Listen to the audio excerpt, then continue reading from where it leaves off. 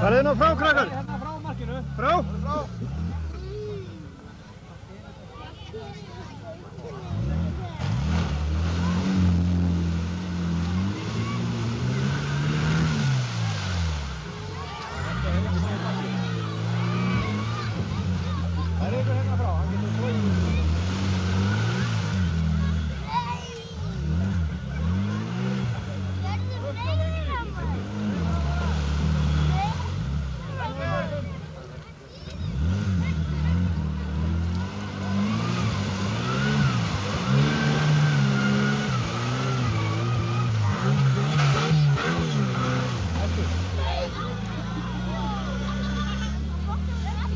Ustedes.